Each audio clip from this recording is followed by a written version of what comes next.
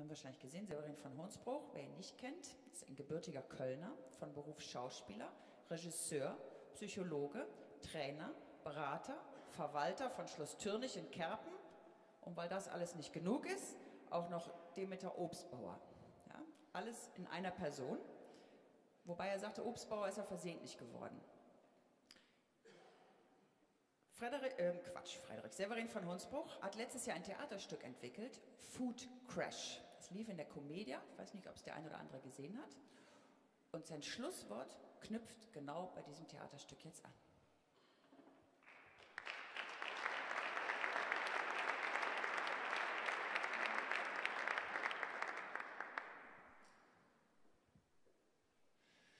So, jetzt sitzen Sie alle schon ziemlich lange und Sie dürfen jetzt noch länger sitzen bleiben.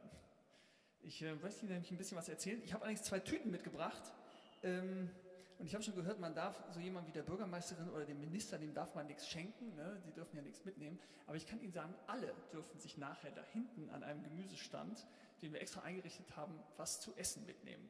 Können, Sie können sich da so Tütchen packen, ja, es kostet auch nichts, Sie können sich einfach packen, was Sie wollen und nehmen es mit nach Hause. Und weil Politiker nie Zeit für sowas haben, habe ich schon mal für Sie gepackt. Aber die kosten eh nichts. Insofern ne? dürfen Sie sich die nachher mitnehmen. So. Das bin ich. Und ähm, ich würde Ihnen gerne ein bisschen was erzählen, wenn Sie das jetzt noch aushalten, aber Sie müssen es aushalten, weil Sie sitzen ja hier. Ähm, als ich dieses Stück Food Crash gemacht habe, ähm, da macht man ja so wie der Valentin auch, der hat angefangen zu recherchieren und ich habe auch angefangen zu recherchieren und versucht herauszufinden, worum geht es da eigentlich bei Welternährung und solchen Themen. Und da habe ich Sachen rausgefunden, die haben mich so tief schockiert, und so tief berührt, dass ich gesagt habe, wenn wir da nicht was machen, dann haben wir bald echtes Problem. Und äh, ein paar von den Sachen, die möchte ich Ihnen gerne mal erzählen. Ähm, wissen Sie, was das ist? Das sind Felder in Saudi-Arabien. Ja? Da wird Getreide angebaut. In Saudi-Arabien ist es nämlich ganz toll, da gibt es eine Wüste, aber unter dieser Wüste gibt es einen See, der ist ungefähr so groß wie der Erisee. Und da kann man Wasser rausziehen. Und dann haben die Getreidefelder angelegt, ja? So sehen die aus. Riesige Getreidefelder, alle kreisrund und haben die bewässert mit diesem Wasser, das da unten drunter ist.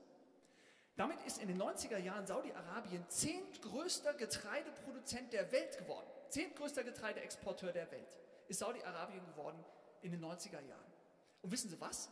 Der See ist jetzt leer. Und jetzt ist Saudi-Arabien zehntgrößter Getreideimporteur der Welt. Jetzt kann man sagen, wie bescheuert kann man eigentlich sein, ja, dass man innerhalb von ein paar Jahren seine Ressourcen, die tausende von Jahren dort aus dem Boden gesprudelt sind, innerhalb von ein paar Jahren verbraucht. So, dann kann man sagen, ja, die Saudis, die sind halt irgendwie doof oder was? Die Realität ist aber, wir machen genau dasselbe. Ja, wir bringen unseren Planeten ja bekanntlich zum Schmelzen und Klimawandel ist so ein Thema, damit haben wir uns alle schon viel beschäftigt. Das hört man dann irgendwie in, in Paris, gibt es eine Diskussion über Klimawandel und dann heißt es, ja, wir müssen die Braunkohlekraftwerke abschalten und wir müssen irgendwie den Verkehr reduzieren und wir müssen all solche Sachen machen. Aber ein Wort habe ich nie gehört in Paris und das Wort heißt industrielle Landwirtschaft. Die Frage ist aber, wer ist überhaupt hauptverantwortlich für den Klimawandel? Und ich kann Ihnen was sagen, es ist nämlich überhaupt nicht der Verkehr und es ist auch nicht die Kohleindustrie und gar nichts. Die industrielle Landwirtschaft ist hauptverantwortlich für den Klimawandel auf unserem Planeten. Es gibt eine Studie von äh, in Nature, ja, da hat wirklich das Who is Who der Geowissenschaften mitgearbeitet. Diese Studie heißt Planetary Boundaries. Was hält unser Planet aus? Was sind die planetaren Belastungsgrenzen, die unser Planet aushält? Diese Studie hat durch das Who is Who der Geowissenschaften mitgearbeitet. Das ist jetzt nicht im Greenpeace-Mitgliedermagazin oder im Schrot und Korn erschienen, ja, sondern in einer der renommiertesten Wissenschaftszeitungen. Planetary Boundaries sieht so aus. Ja, die haben sich also die Frage gestellt, was sind so die Grenzen, was unser Planet aushält. Und die haben neun Faktoren herausgefunden, wo die Wissenschaftler gesagt haben, wenn wir an diesen Faktoren über eine bestimmte Grenze gehen, dann führt das zu fatalen, nachhaltigen, gewaltigen Katastrophen auf unserem Planeten. So, jetzt gucken wir uns das mal an. Ja, da stehen so Sachen wie Klimawandel da oben, aber wie Sie sehen, bei Klimawandel zu alleroberst, da sind wir ja noch nicht mal bei der roten Belastungsgrenze. Ja, sondern da sind wir irgendwo sogar noch so eigentlich einen ganz guten Bereich. Es gibt aber andere Bereiche, ja, die heißt zum Beispiel Biodiversität. Oder auf der anderen Seite Stickstoff-Phosphor-Kreislauf, da sind wir schon lange drüber. Aber sowas von drüber. Und die Sache mit diesem Stickstoff-Phosphor-Kreislauf, diese beiden Themen, da würde ich Ihnen gerne kurz ein bisschen was zu sagen. Stickstoff. Der Stickstoff, der hat ja im, so nach dem Ersten Weltkrieg, da war irgendwie Schießpulver übrig und dann haben sie das auf die Felder geschmissen und gemerkt, wow, wenn ich Stickstoff, das in Schießpulver drin ist, da drauf schmeiße, dann wächst alles wahnsinnig schnell. Dieser Stick, und dann hat man herausgefunden, dass man, es gab nämlich ein Verfahren, das wurde in der Zeit entwickelt, das sogenannte Haber-Bosch-Verfahren. Da kann man aus der Luft den Stickstoff mineralisieren und dann in den Boden reinbringen. Jetzt ist es so, auf einen Hektar industrielle Landwirtschaft bringt der Landwirt im Schnitt 160 Kilogramm Stickstoff aus. Zur Herstellung brauchen Sie pro Kilo ungefähr ein Liter Öl, äh, zwei Liter Öl. Das heißt, es sind ungefähr 320 Liter Rohöl umgerechnet, was einfach energiemäßig auf den Acker kommt pro Hektar. Wenn Sie den Acker umpflügen und so, dann gast das später aus. Es wird nur von etwa 30 bis 50 Prozent von der Pflanze aufgenommen. Der Rest geht in die Meere und zerstört. Es gibt riesige Kilometer, Quadratkilometer große Todeszonen in den Meeren. Ja, und es gast eben als Stickoxid aus und das ist eben ein Treibhausgas. Ich sage Ihnen mal, was der mineralische Stickstoff im Boden macht. Am Beispiel von Getreide. Ja? Wenn Sie das ausspringen, dann wächst also auf einem Quadratmeter natürlich das Getreide viel stärker. Aber es wächst nicht nur das Getreide viel stärker, sondern es wächst auch das ganze Unkraut viel stärker. Ist aber kein Problem, da gibt es ganz tolle Herbizide, die kann man ausbringen und dann ist das Unkraut weg. Jetzt wächst aber auf diesem Quadratmeter auch viel mehr Getreide als vorher. Das führt zu einem Belüftungsproblem. Dann kommen Pilze. Ist aber kein Problem. Gibt es ganz tolle Fungizide, die hergestellt wurden, dann kann man diese Pilze wegmachen. Jetzt wächst das Getreide sehr schnell, dadurch wird die Zellstruktur so ein bisschen schwach. Und das ist ein Ort, da können wiederum andere Pilze gut angreifen. Deren Antagonisten, die Pilze nämlich von vorher, die haben wir leider gerade mit Fungiziden weggemacht. Ist aber kein Problem, gibt es auch ganz tolle Fungizide, damit kann man das auch wegmachen. Jetzt wächst der Halm aber so schnell und die schwache Zellstruktur ist so stark, dass das Getreide umfällt. Ist aber kein Problem, gibt es ein sogenanntes Hormonpräparat, ne, ein Halmverkürzer, damit wird das Getreide kürzer und dann fällt es nicht um. Jetzt wird es aber auch viel grüner. Dadurch kommen Schadinsekten, werden dadurch angezogen, durch dieses dunkle Grün, insbesondere Läuse. Ist aber kein Problem, das ist ein ganz tolles Pestizid, damit kann man das auch alles wegmachen. So, und dann ist es aber auch noch so, dass das Ährenblatt, dadurch, dass wir den Halbverkürzer hatten, näher an die Ähre ranrutscht. Jetzt springen Pilzsporen von diesem Ährenblatt auf die Ähre über. Ist aber kein Problem, das ist ein ganz tolles Ährenfungizid, das kann man ausbringen, dann ist das auch weg. Jetzt reift aber das Getreide nicht rechtzeitig ab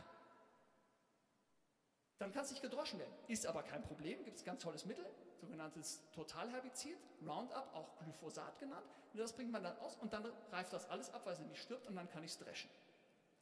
Das ist die Folge von mineralischem Stickstoff in unseren Böden.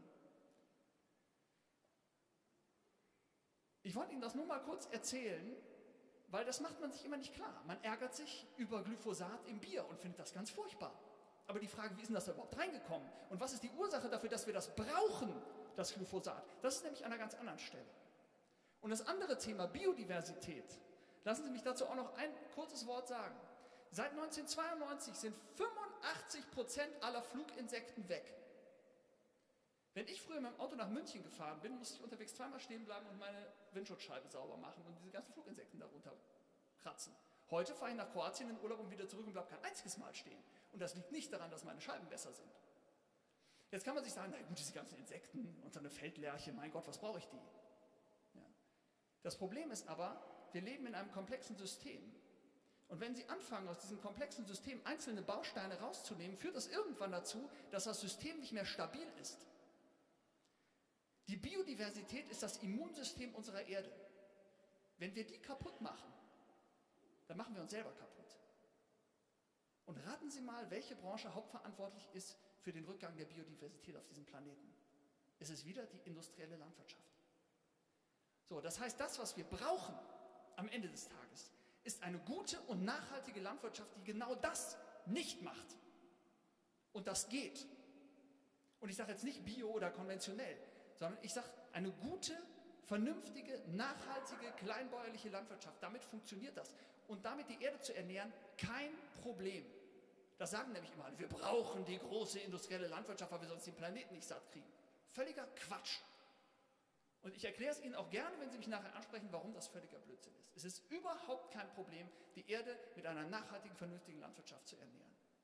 Und ich glaube, dass wir diesen globalen Wahnsinn, den wir mit unserer Ernährungspolitik anstellen, und nebenbei bemerkt, unser Flüchtlingsproblem, das wir im Moment haben, ist auch auf Basis von industrieller Landwirtschaft passiert. Ja? In Syrien, in den vier Jahren, bevor es in Syrien 2011 richtig losgegangen ist, waren vier Dürrejahre. Und was macht der Assad? Er unterstützt mit dem Wasser, das Syrien hat, die industrielle Produktion von Nahrungsmitteln für den Export. Damals sind über eine Million Landwirte in Syrien in die Städte gewandert, weil die auf dem Land plattgegangen sind. Und dann wundert man sich, dass wir hier Flüchtlinge haben. Ja? Also Landwirtschaft ist das ganz entscheidende Thema, um das wir uns kümmern müssen. Und da hat es ganz viel damit zu tun, mit welchen Ressourcen wir arbeiten. Und einfach zu sagen, regional ist super, nützt gar nichts. Regional können wir uns in die Haare schmieren, wenn nicht ordentlich produziert wird. Es nützt mir nichts, wenn ich ein Hühnchen aus der Region kaufe, ja, das nach Maßstäben produziert wurde. Die, der Transportweg ist es nicht. Ja, wenn ich einen Apfel bei mir vier Monate ins Kühlhaus lege, ja, dann hat der von der Gesamtbilanz rein, was das den Transport angeht, eine schlechtere Bilanz als der, der aus Neuseeland kommt. Es geht nicht zentral um den Transportweg. Es geht um die Frage der Herstellung. Wo kommt das Futter her? Wie wird das Futter produziert? Wie werden die Tiere gehalten? Das ist die zentrale Frage. Und ich denke, dass wir diesem globalen Wahnsinn einen regionalen Riegel vorschieben müssen. Und das machen wir mit dem Ernährungsrat.